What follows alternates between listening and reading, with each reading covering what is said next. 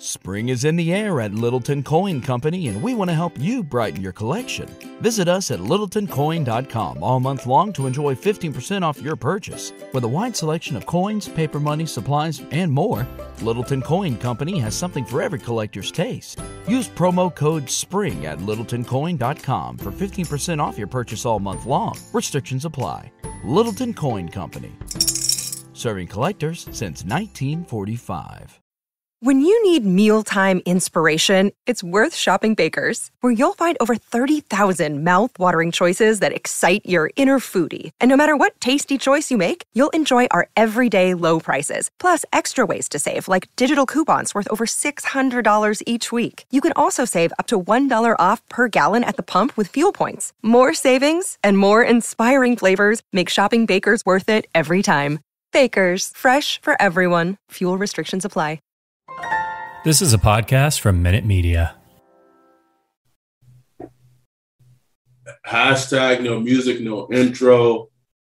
Another episode of hashtag Saints Twitter podcast coming at you. We're we're in the home stretch. like in two weeks from today, I will be I will be in Vegas. We will, we will both be in Vegas. All four of us me, you, Free, Jay will all be in Vegas and getting ready for the NFL draft. It's finally upon us. Feel like it's fucking taken. It always feels like it's taken forever. And I mean, at this point, everything's been everything's been done. Like teams, yeah, teams are in their in their bunkers. They're in their their, their meeting rooms. They're finalizing their draft board.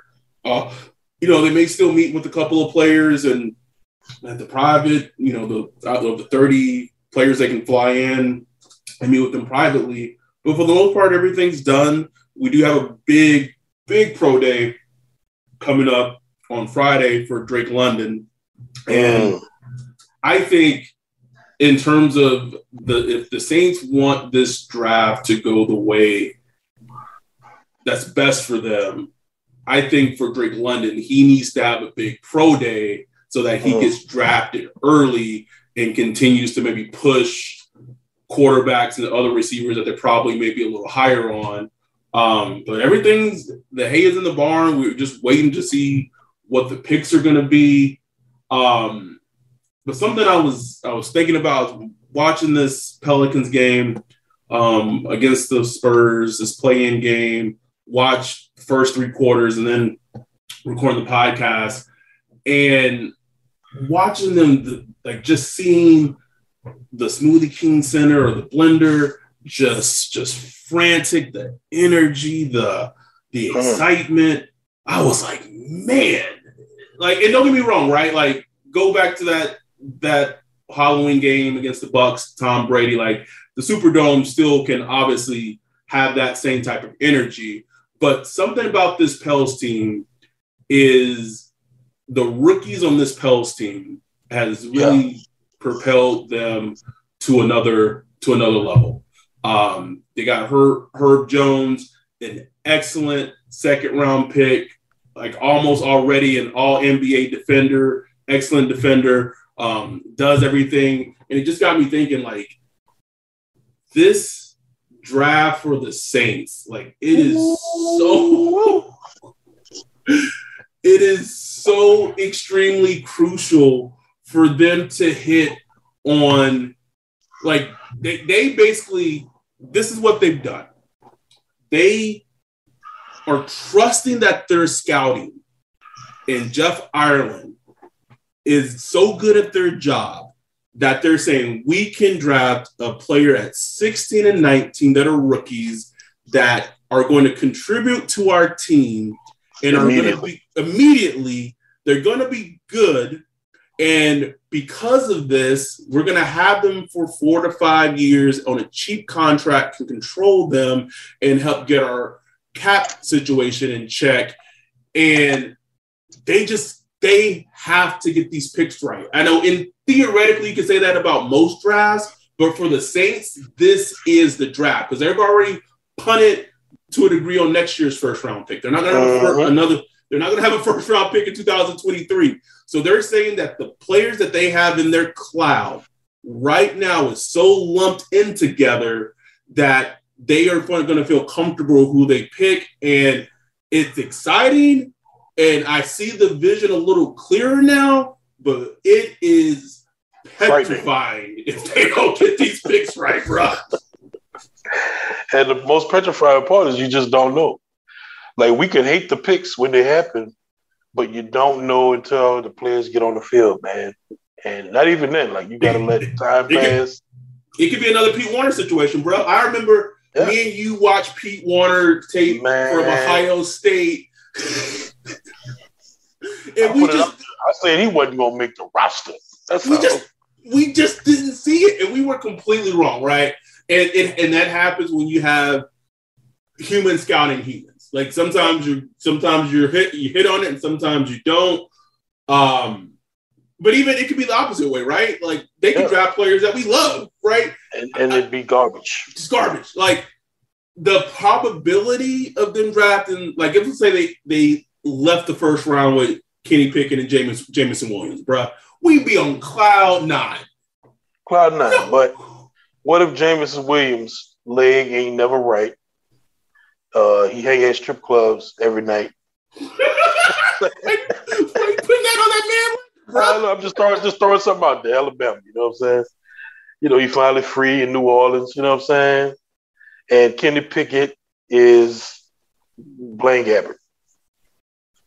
you know what I'm saying? Like it could happen. Like I'm it can. Saying, like it can, man. It can absolutely can. So like that's why I try to tell people. Like, yeah, we we talk our shit. We like we love our players. We, you know, we bang on the table with certain players. But man, the the whole thing I love about like just being a little draftnik and you know sideline scouting is we're not that much different from the scouts and the and the GMs and all that shit. I know people like to say, "Oh, well, they're professionals. They've been in the league for hundreds of you know decades and this and that."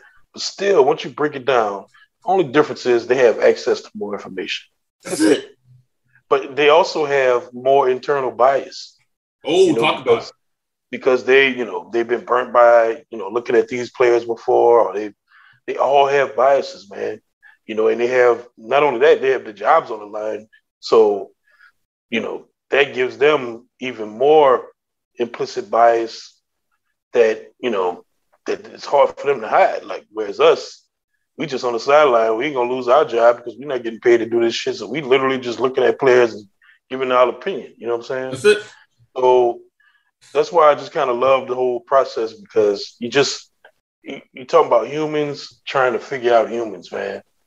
And you take all the information you can in, and make the best decision. But we know you can look at every draft, you know, people have broken down like, you know, 50% of these dudes, man, they won't even be in the league in a couple years. You know?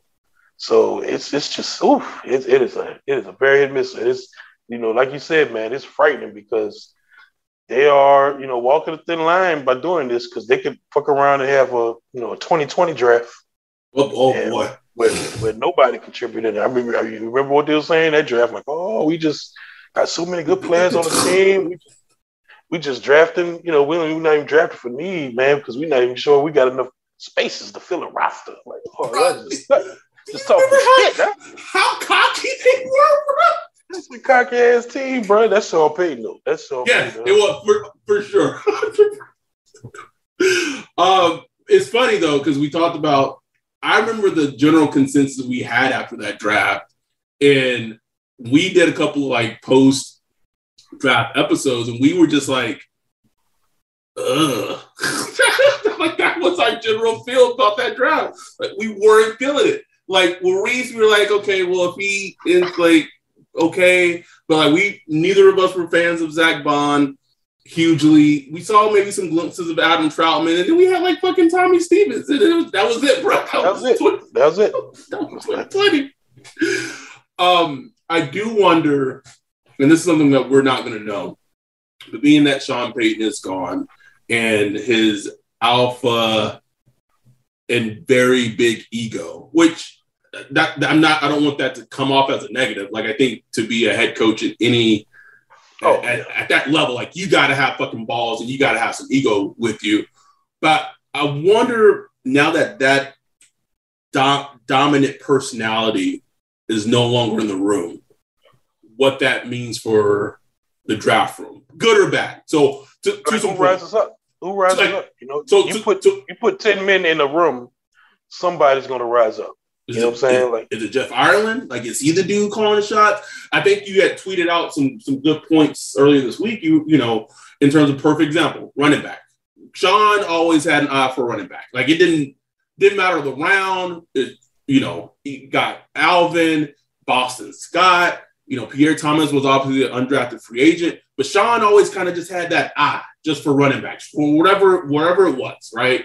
And like you tweeted, is like like who who has that eye on the team for running back now? Because you know, right now it's just AK Mark Ingram and Tony Jones Jr. Bro, no? bro, it's nasty. It's like one of the like kind of most underrated holes in a, on a team right now. Even like even like Kamara, we expect him to miss some games. Even if not compared Kamara not missing some games, like we've known the best Kamara is Kamara that's splitting reps. Right. You know like that's that's when you get the best of them. So I mean, you gonna split reps with Mark. I mean, I love Mark Ingram, but it's like, well, now like we know he's at the end of his career. You know what I'm saying? Tony Jones, I don't want to see him no more. Like, I don't want to see Tony Jones Jr. no more. I'm good. Like he should be like the fourth running back. You know what I'm saying? off, off and on the practice squad. You know, if you have decimated by injuries, like okay, you bring on Tony Jones Jr. But he shouldn't be like the guy next to AK. No, he, he shouldn't. And I think what the the moves that the Saints have made in the offseason, besides they besides getting Andy Dalton back a quarterback, they brought in P JP Holtz. I don't know, man. Some some tight end from the Bears. I, am not sure. Whatever. But besides those two players, and obviously bringing Jameis back, we were remiss if I didn't mention that. There's really been no other upgrades on the offensive offensive side no. of the ball. There has yeah, all the all the right now, all the resources have gone into defense, right? We got yep. Marcus Maye, Jaleel Johnson, um, that um, safety that was with Tampa. Uh, Evans. They brought back Evans. PJ Williams. All these things have been defensively. Now, at some point, I would like them to bring Kwon back at this like this point. Just bring just bring him back. Like it makes no sense. Kwon ain't getting no messages, no missed calls, nothing, bro. Nothing. Like I, I, did a search on Twitter just to like see, and it was just like Saints people saying like, "Oh man, where's Kwon?" So he ain't getting no hollers. So it's funny too because one of my favorite draft bays of of yesteryear still a free agent is Anthony Barr. Um, wow. but yeah, isn't that crazy? Yeah, he should come and just like him and Zack Baun just do a Spider Man like. Uh, there's no chance in hell DA would know how to use Anthony Barr. Yeah, no, they have Anthony Barr special teams, man.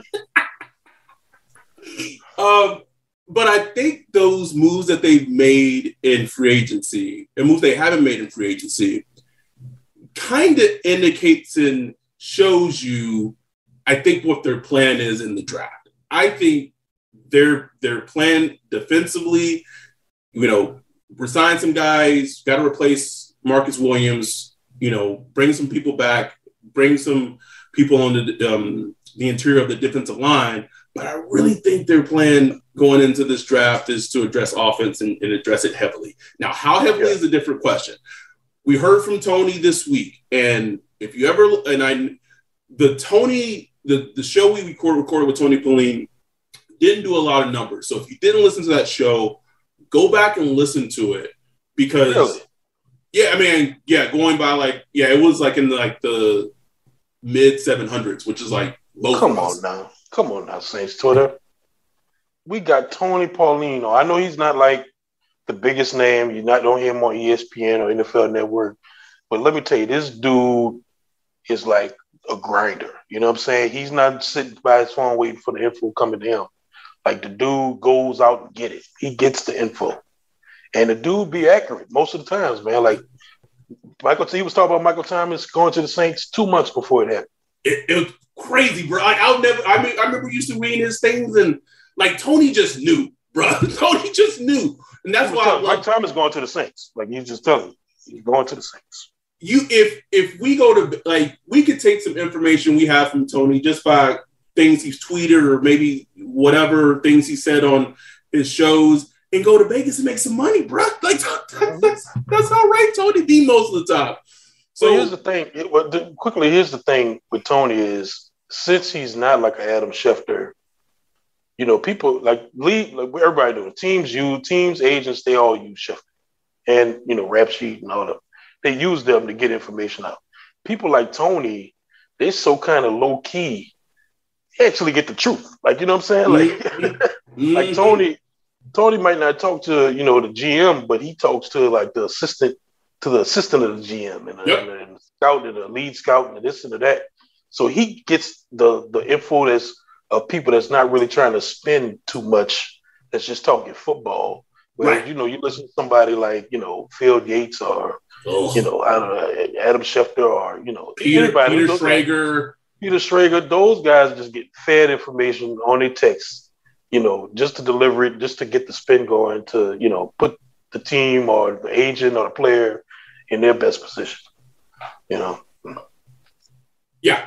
Uh, well, well said. So if you didn't, if you're listening to this episode, if you didn't hear the episode we did with Tony Pauline, go go back and listen to it because there's a lot of really good draft Saints nuggets that's in that episode.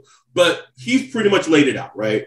The three positions that they want to potentially address with 16 and 19 quarterback, wide receiver, offensive tackle, maybe not in that specific order. And I really think that their offensive moves, off-season moves, excuse me, off off-season moves, kind of really kind of shows you that's the case, right? Even the whole debacle with number 20 with uh, allegations 22s over there, that's the team telling you that as much as you know they brought Jameis back, but they were telling you that they wanted an upgrade over Jameis. We, I'm not talking about the, the the the person. I'm just talking about the the player and the talent. Their moves and their actions showed you that they wanted an upgrade over over Jameis. They're screaming it like that's why I don't what I don't get. I was talking to uh, somebody, you know, somebody that coaches the Saints this week about it. Like they just like they don't get it either. Like what the hell? Like, what are you all watching? You know what I'm saying? Like, the team, the, the, the literally the Saints are telling you they look at Jameis Winston as a fine bridge quarterback. That's what they're telling you. That's what the money tells That's you. It. That's what the moves tells you. That's what they're telling you. I know a lot of people out there believe he's like a you know former number one overall pick that's just needs the right weapons and the right time to become you know a franchise quarterback but the teams don't believe that, not just the Saints, but nobody else, because he wouldn't have been sitting out there if he was. You know what I'm saying? For as long as he was, yeah. For as long as he was. So, and, and that's just not that's not me saying like, oh, well, Jameis what's he gonna suck. Like he could very well have like a really good, solid, or even a great season. You know, we've seen it in the league happen. You know, he could have a great season, and that would be like a great problem for the Saints. Like that'd be one of those good problems. But just looking at the trend of history, I mean, you can only go off what you saw. You know what I'm saying? And they know Jameis. They had him in a room. They know what he's been able to learn and not learn and execute and not execute. So, I mean, they just telling you, man. So, I mean, the, the Jameis sites, they just got to chill, man. got to chill. And, and and we are not Jameis haters. I'm not a Jameis hater. I, right. I said on this podcast plenty of times, like, I think we should bring Jameis back. Like that was like my number one option you know, because that's like the best available options we have at the moment. But it's not like, okay, people like, man, Jameis, just bring Jameis. We, we good. We Jameis, we got Jameis. Like we good. Like what are you talking about? like, like what are you talking about, man? It's a it's a wild it's a wild thing to me that I don't even I don't even I think I've cleared out most of the people on Twitter that have come with me at that. Like I just blocked them so I don't get it as much anymore. But it's a very wild, wild little world they live in. Um, I do want to talk a little bit about something that you've talked you talked about on Twitter, we've talked about in our text messages, and just this this whole thing about quarterbacks and drafting quarterbacks and where the state of the NFL is right now and drafting quarterbacks because we have we have seen the pendulum swing like the fact that quarterbacks that like Mac Jones, Kenny Pickett, those type of prospects that you know they don't have high ceilings, man. Like they they are who they are. Like they show you who they are in college. They're pretty much going to be the similar or same type of player in the NFL. You hope that you hope they are right. If you're right, then you, you're making a good pick. And how that's just kind of become a devalued type of player, even at the quarterback position. And I don't, and I think the I think the NFL is showing you it's, it's becoming devalued just in terms of where they get where quarterbacks like that get drafted now. But also there's this sense that like fans think that it, unless you're Josh Allen, Patrick Mahomes, like this, I, I gave an, an analogy to a friend today. Like all these fans and teams want 12 inches, right? Mm. That's what they want. But sometimes, like sometimes six and seven inches can get the job done, bro. Like, like you're just saying, like you're not good at like the the Josh Allen's and Patrick Mahomes are in credit to Josh Allen because his accuracy was fucking terrible yeah. as a he, prospect. He improved. He has greatly improved, and he has shown that he is. He, I think you could say that Josh Allen is a. I don't even know if I want to say Josh Allen's a generational talent, but he's he's played at that elite level. quarterback, man. Yes, he's an elite quarterback.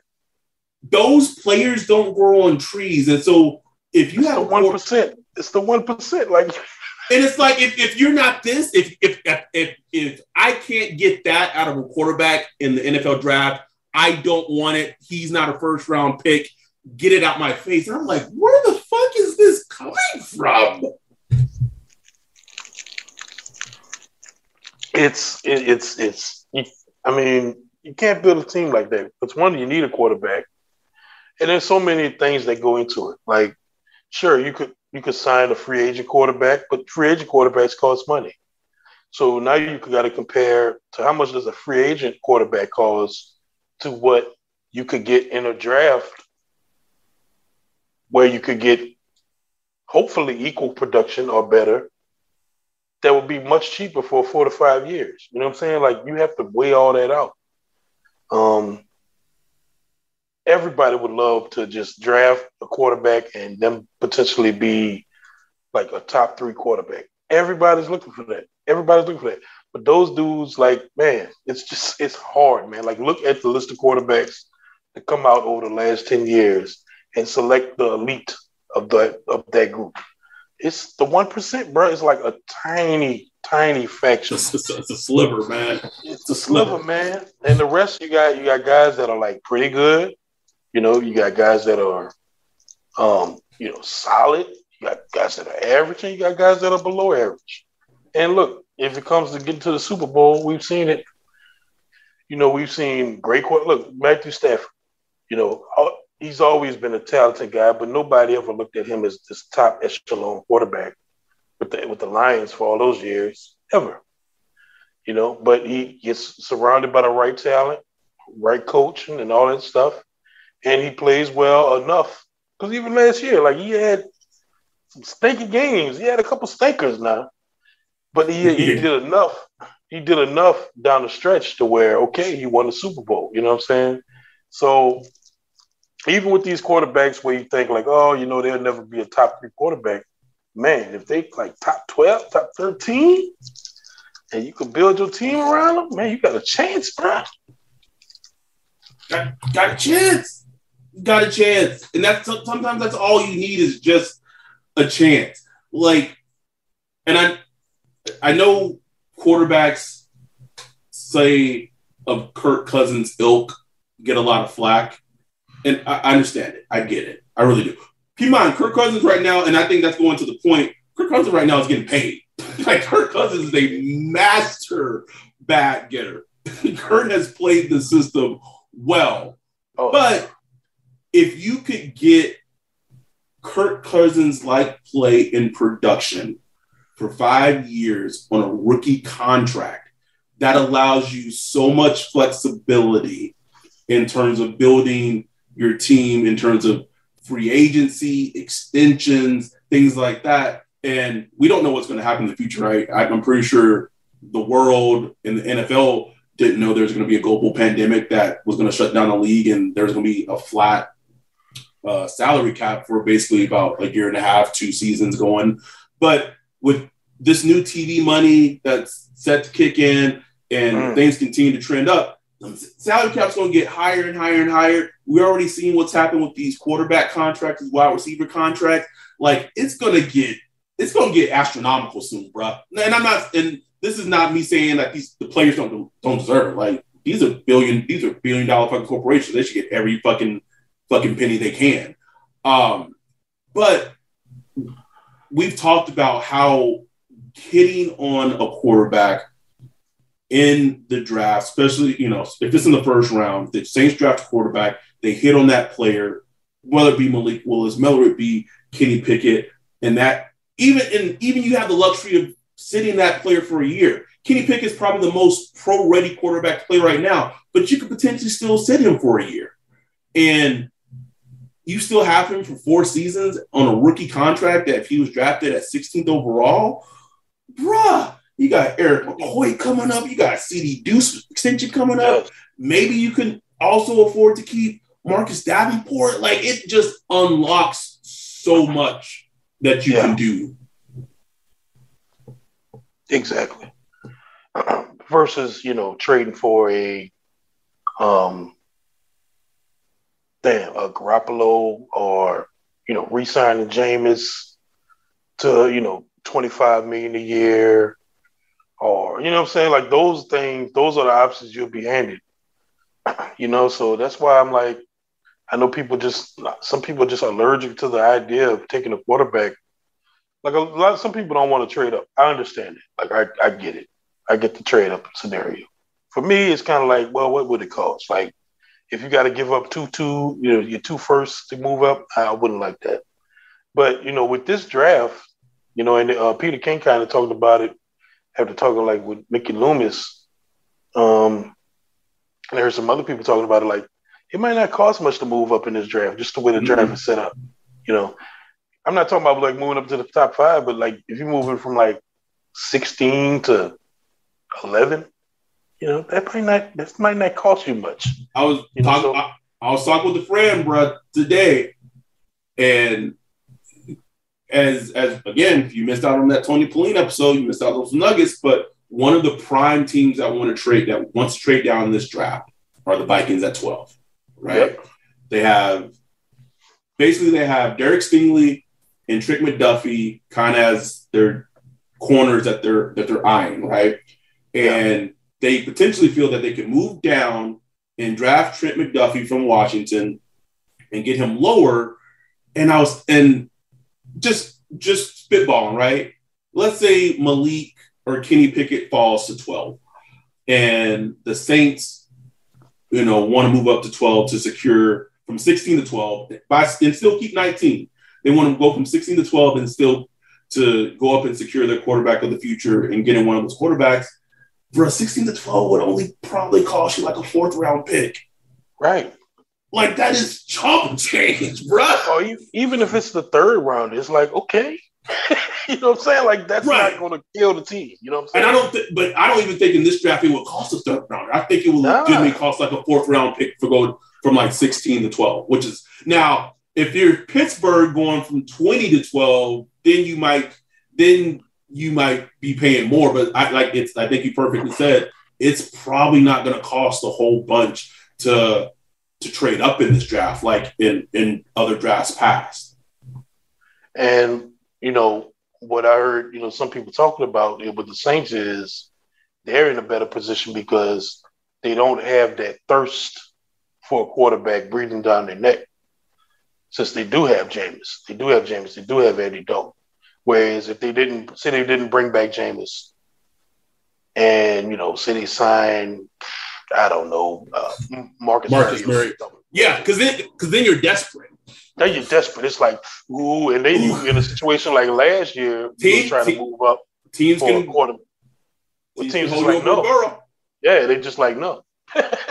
nope. I'll give you this. Nope.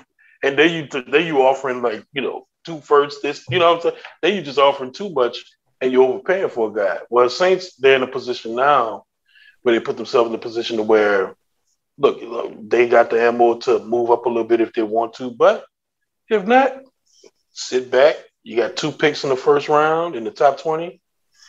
You, I mean, according to Peter King, Mickey Loomis told them they have like two or three guys that they love that they're pretty sure is going to be there. So you know what I'm saying? So, like, so okay. I, I, I want to stick with that, right? So obviously you don't they don't make you don't make a trade like they did unless there's like they just feel they're very comfortable in this cloud, right? When you say that, when when you hear that, oh, it scares me. Well, that yes, because that's also assuming that the players that they the two players that they have have all it takes is two teams just taking them a little earlier, bro. like, oh, it's, it's that it's that that scares me, and it's also they just we know they, they draft these players sometimes that we not even you know that people like having a second round or whatever. So it's it's just scares me that they have like two guys that's just like not even in the window that they just have rated more than anybody else. You know, and it scares me because it's just one of those things. You're like, who? Like this again? Payton Turner. You know what I'm saying? Like something like that again. You know what's funny? You know what's funny about Payton Turner is that I was looking at uh Travon Walker's uh mock mock draftable today. Which oh, is, oh yeah. Which, which yeah. is crazy. The player he compares the most to mock draftable wise is fucking Payton Turner. isn't that is that fucking hilarious? That is hilarious, bro. and Travon Walker going top three in this draft, bro. Like it's gonna happen. Three, um, what are when when you hear Mickey Loomis say that to Peter King? What are the who are the two players that you think they are referencing? I think it's Penning. I think it's Kyle Hamilton. It, it could be it's it's a safety. It could be Kyle Hamilton, Hamilton or the Michigan kid. Uh, Daxton Hill. Yeah, Daxton Hill and I think it's um, I think it's one of the wide receivers. I can't. I think it's part of me feels like it's it's it's just, it's, it's, a lot of Jameis Williams Williams smoke man around the Saints, bro. Like, I don't want, I don't want to believe it. Like a part of me just I look at it, I'm like I don't want to believe that. No way they're gonna do that. we, we waited too long, bro. We've been so but there's a lot of smoke around that name Tons. Saints, bro. Tons. Um, when I when I heard it, the the two players I thought of the most was I think that they and I and I said this after the trade happened. I think that they have a, a like a three wide receivers that mm-hmm. they will be extremely happy with at 19 or 16, right? Like I, I I think I think I think two of them is Jameson Williams and Chris Olave. Yeah. I think I think two of them are Chris like and I'm I can't say I'm 100% certain of that, but I just get the feeling that okay, so let's say Jameson Williams gets drafted a little early. Um, the highest he, you know, he's probably maybe going to go is 10, but if he doesn't go 10, I, I really think the only competition the Saints have in drafting him is if the Eagles want to dip their toe in the wide receiver thing again, or the Chargers. You know, that would be that would be. I would hate that, bro. Like Herbert with Keenan Allen, uh, uh, Mike Williams, and a healthy Jameson Williams, bro. Uh, Fuck. Um, but I could see, I could, I could see them doing it because like now they have like at some point Keenan Allen's going to want to get paid. They I don't know, man. It's just it's it, that's a that's a best value type of pick, you know, that the Chargers can make. Also, bro, I can see the Chargers doing something like they had a terrible fucking run defense, and I can't stand him. But one thing Jordan Davis does do well is like yeah. he is a like a run stopping, like defensive tackle. Like that is one thing he does extremely well. Now, is that worth a pick at wherever the Chargers are picking, I don't know. But Nah, if you I, if I don't think their coach values it. yeah, it wouldn't I wouldn't I would be shocked. But I do think that the Saints have two to three wide receivers that they have in their cloud. And then, like you said, I do get the feeling that they think that a player that it may be expected to go higher falls in the draft and is going to fall in their lap. But it also brings the question of, you know, they're, you know, they've been tied to quarterback quite a bit. They they don't need need one, but they kind of really need need one. Would you be surprised? So let's say draft day comes and we're we're live streaming. Malik Willis is on the board at 16. Kenny Pickett's on the board at 16. And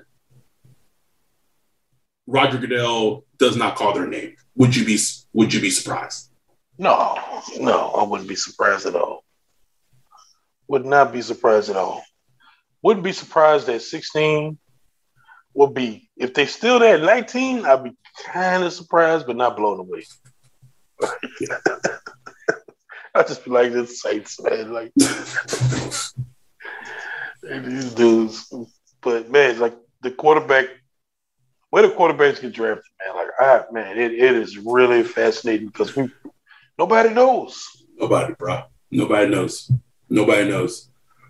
Like I, I the the biggest the biggest pressure point in this draft is that pick at six. Mm-hmm. That That's- that that's gonna mean so much. That's the pressure point in the draft.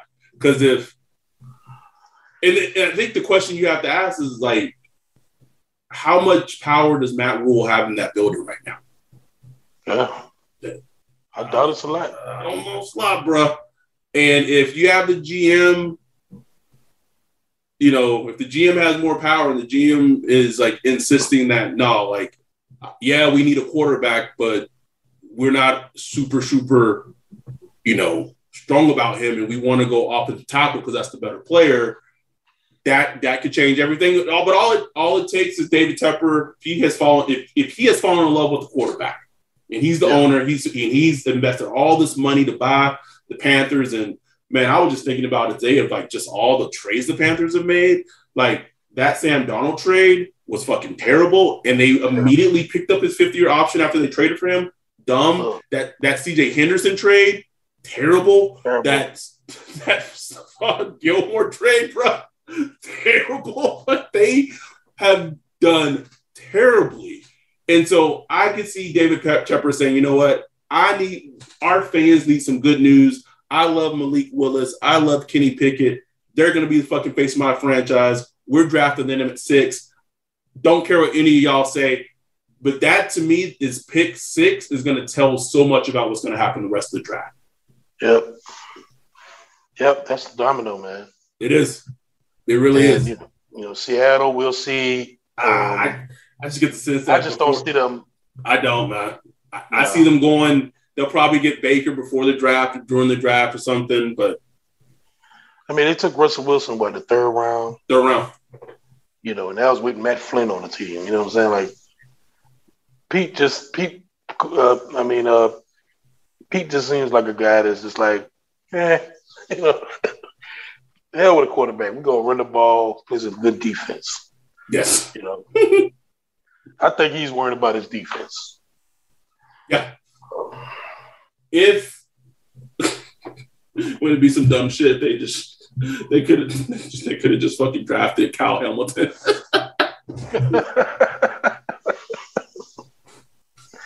they really could have, man. Um, but it this this this whole thing about what's going to happen is crucial. It's it's it's crucial. I don't think I can understate that enough. I did want to do a quick we did a drop, we did a draft simulator. You know, when the Saints had their 18th pick, I just want to do a quick two round mock draft simulator, real quick, with pick 16 and 19 um, to see what happens. Just just for curiosity's sake, got it going. The Jags go chalk. They go Aidan Hutchinson. The Lions go with Kayvon Thibodeaux, which the NFL is just going to overthink him, man. Like it's it's mind boggling to me. Like he like he's so good and he, he's going to not go as high as he should go. But anyway, um, the Texans go Travon Walker. The Jets with the surprise of the draft, they went Kyle Hamilton. The Seahawks just went Malik Willis. The Commanders just went Jameson Williams. Um, the Vikings went Jordan Davis. The Lions, did they trade from 32 to 13? I think the Lions traded from 32 to 13 to draft Garrett Wilson for whatever reason. Sure. Um, so, and then the pick before us, the Eagles drafted Matt Corral. Interesting. So we're at, we have pick 16. Now, there's some interesting names on the board at 16. We have Jermaine Johnson, who's probably, I know this is a, mat, a, a simulator, he's probably going like top five, top six in the draft. He's the edge rusher from Florida State. Have not watched much of him, but he's there at 16 for us. We also have Trevor Penning, offensive tackle from Northern Iowa, that's on the board. And we also have Kenny Pickett, quarterback Pittsburgh on the board, as well as Chris Olave, wide receiver, Ohio State. So we're we're again we have we're co-GMs. What are you thinking at pick 16 with these players on the board? Man, you know I I just this is what we think the Saints would do. This is what if if we were running the what, Saints. what the Saints what the Saints would do. If the Saints were, if this was the Saints would do, Jermaine Johnson would be a Saint. like, I'm not, Bruh, like I don't think it's even a debate. like if he if he's there, like come on, man. don't think it's a debate, bro. Don't think it's a debate at all. They'd be trying to trade Marcus Davenport that day. yeah, to like recoup like a second round pick or something for sure. Yeah, yeah, like they were trying to get him out of there that day. You know what I'm saying? So that's easy for me. I don't know much about him, but I, I don't know what his, you know, I don't know if his, his exact measurables or whatever, but that would be easy for me. Like that's what the Saints would do. Me, I'd probably go Penning. I'd go Interesting. first. Just just to lock it up, man. Like big offensive line believer, bro. I go get Penning up. I like him. Lock that. You can play right or left. Let's go. Okay, so so you're you're on the clock. Give give me what what are we doing? What do you mean? Well, For which pick? The 16. Like which one? Uh, let's go Jermaine, man. All right. Jermaine Johnson locking it up. At 19, at 19, we have still on the board Trevor Penning, Kenny Pickett, Chris Olave.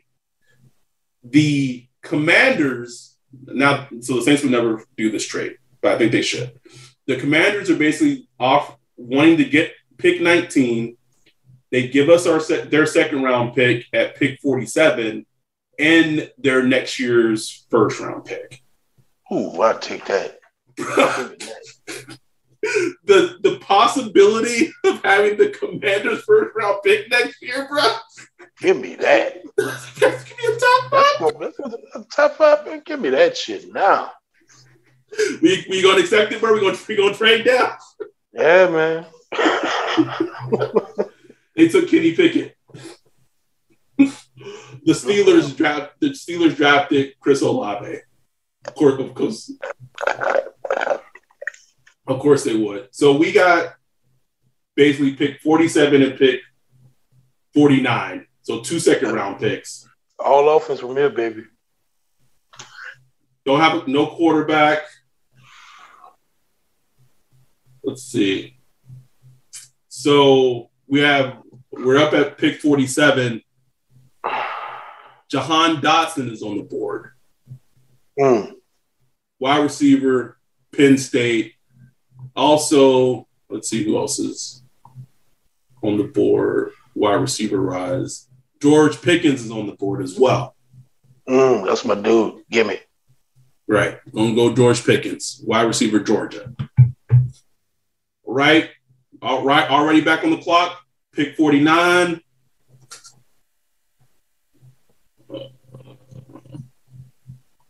Pick 49. Got some tight ends on the board. We got Trey, uh, Trey McBride on the board. Um, oh, Desmond Ridder is on the board. Ooh. Oh, can't do it, bro. can't Any running backs? Uh, Kenneth Walker, the running back from Michigan State, is on the board. Give me.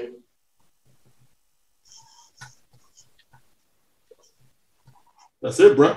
We so in this mock draft, we this would be a very Saints draft, bro. It would be, man. I'd be, I'd, I'd be okay with it. so in this draft, J- Jermaine Johnson, who again is probably going to go top six, that at, at, at most top eight in this upcoming draft. Edge rusher from Florida State. It's just going to happen. He's going to get drafted top eight. He happened. He happened to fall to 16. And if you know this team, if you if there's a player that falls, especially like an edge rusher, Oh, Oh. yeah. an athletic freak of an edge rusher, he he'll be a saint. And then at Oh. pick 19, because of the Washington Commanders offering us next year's first, I, I, I don't like next year's quarterback draft class, but to get your the Commanders are not a good team. They're just not, and they got Carson Wentz too. Oh, boy, that's gonna be a.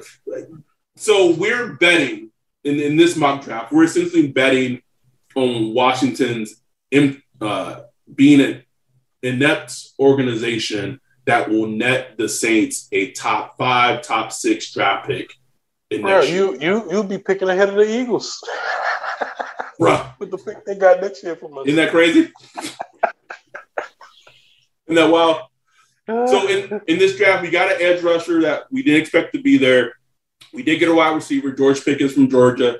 We got the the however you want to grade him, the top best running back or second best running back in the draft of Kenneth Walker, the third from Michigan State. Um, it, it does some things. It it addresses the need in wide receiver, it addresses need running back, but also thank you. And if in hypothetically, if the draft played out like this with Jermaine Johnson falling, I think you made the great point is that you're calling up as soon as he is drafted, you were calling up teams saying, "Hey, uh, got Marcus Davenport. Uh, what would you give me for him?" Like, I mean, he's, you know, on the last year's deal, you get that money off your books. Hmm. and then that potentially could free you up to sign like Tyrann Mathieu and just kind of go from Yeah. like it, it it opens a lot of possibilities.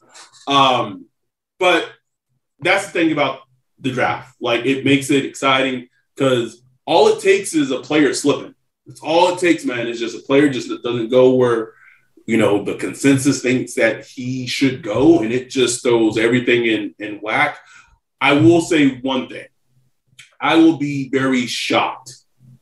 I will be very shocked if this if the Saints did not draft a wide receiver with one of their first two rounds. Uh, Me too. I, I would that would shock me. That would shock me more if they didn't draft. Like if a quarterback fell to them and they didn't like them not drafting a wide receiver would completely shock me. Well, we know they're not going to trade down. So No, no, no, no. Throw that out the window. Um, I've I've watched, you know, pretty much all as as many players that I'm I'm going to watch. I, I think I'm pretty much watched out. I might watch might watch some Daxton Hill, just you know, because I can see him. I, I don't I don't I don't know him as a player, but obviously I know that safety is a is a need for the Saints, and if he's there, I could you know maybe see him drafting him. So I might watch a little of him. But But I will, I will say, as, as as far as safety, you know, it's funny. It used to be a joke, like you know, can he play safety? can he play safety? it used to be a mm-hmm. joke, but like, bro, this, this team has been good at finding safeties, man. Like last well, couple years. I mean, let's let's talk. One of the things, you know, we, we talked a little bit about the Jeff Ireland experience in terms of, you know, just his his drafting trend since he he's been helping with the draft room. Is he has especially since he's left Miami, he has developed a knack for drafting damn good secondary players. Yeah. It is it is his thing. It is his Lattimore, Paulson Adebo, Ceedy Duce, Marcus Williams, Vonn Bell. Like he has an eye, and obviously it's not just him, right? It's, it's also the scouting, whatever. But he has an affinity for drafting a damn like good secondary players. Um, and it's it's going to be needed in this draft. Like, you know, there's still some holes in the secondary in terms of like Marcus Williams being gone. I know they brought in Marcus Maye, but are you just going to really roll out Marcus Maye and PJ Williams and hope like that's going to be enough? Like, uh, I, I, I don't know, but I do think they will draft some more secondary players in this draft. Plus, you have you know Malcolm Jenkins retiring, so it's a it's it's a low key need that. And they're not and they're not scared to start secondary players their first year. No, seen not it, at all. Seen it with Adebo, seen it with Marcus Williams, seen it with uh, seen Ceedy Duce, to Vonn Bell, like Kenny Kenny Vaccaro, like they've done it. You know what I'm saying? Like they yes, like they're not scared to take a third round safety and start him if he's showing at all showing up the camp. You know what I'm saying? So uh, so like you know that's definitely if they do, I think they're gonna go mostly offense, but if they do go defense, you know I think it'll definitely be a safety or a cornerback. I, I'll ask you this because I I've watched enough of him, um, and I know how I feel about him. And it's interesting hearing Greg Cosell talk about him.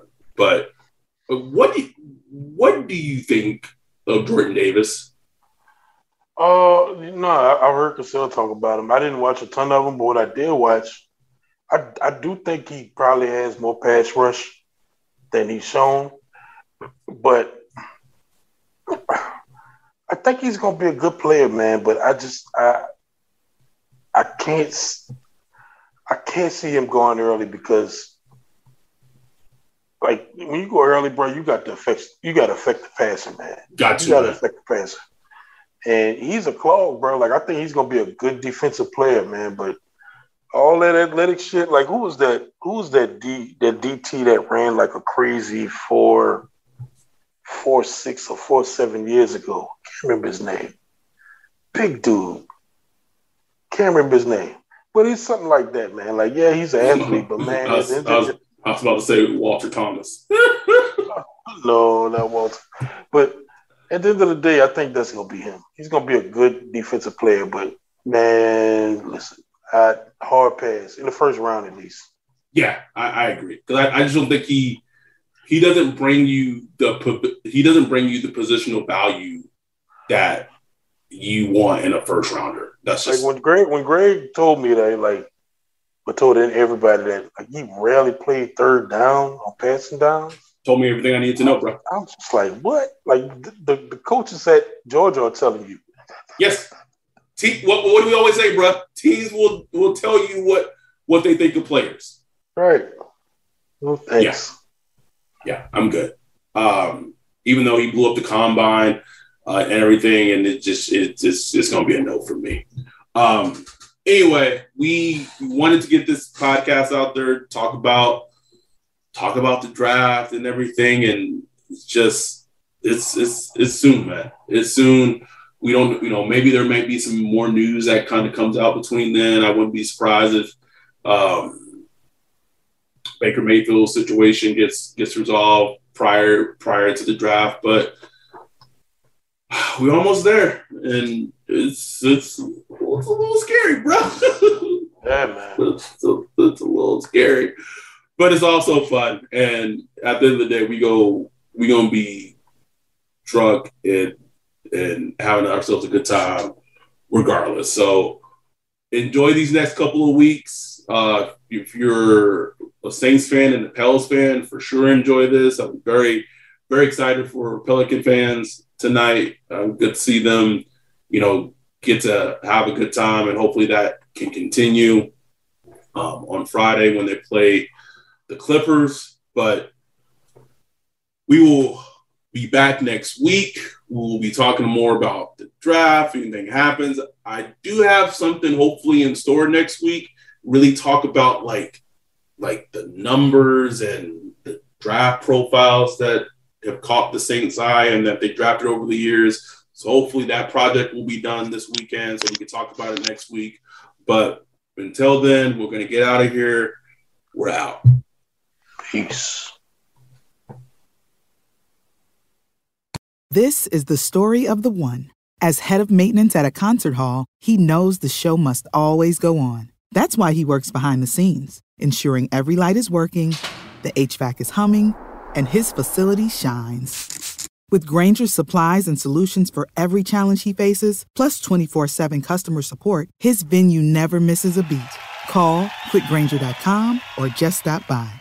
Grainger, for the ones who get it done. When you need mealtime inspiration, it's worth shopping Baker's, where you'll find over 30,000 mouth-watering choices that excite your inner foodie. And no matter what tasty choice you make, you'll enjoy our everyday low prices, plus extra ways to save, like digital coupons worth over $600 each week. You can also save up to $1 off per gallon at the pump with fuel points. More savings and more inspiring flavors make shopping Baker's worth it every time. Baker's, fresh for everyone. Fuel restrictions apply.